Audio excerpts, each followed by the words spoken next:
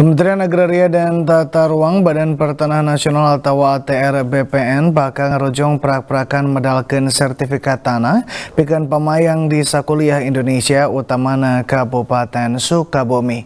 Pemerintah nargetkan sakumna tanah bakal rengseng nyangking sertifikat di tahun 2025.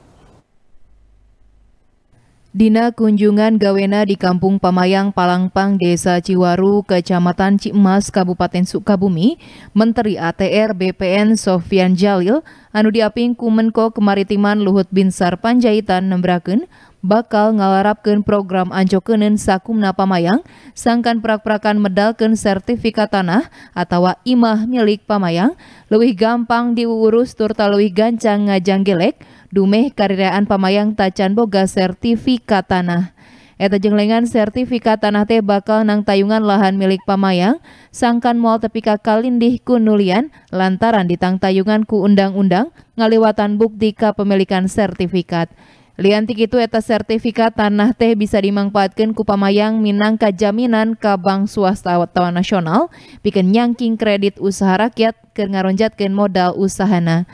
Selama ini nelayan kita karena tidak punya sertifikat tanah, kalau mereka punya tanah sehingga mereka tidak punya akses perbankan.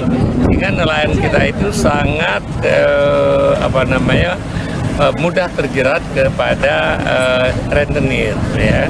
Nah oleh sebab itu kita akan percepat menerbitkan sertifikat untuk nelayan. Pihakna bakal medalkan instruksi ke petugas ATR BPN Sukabumi piken ngadata sangkan kapaluruh jumlah lahan pamayang di Sukabumi anu bisa dipedalkan sertifikatna.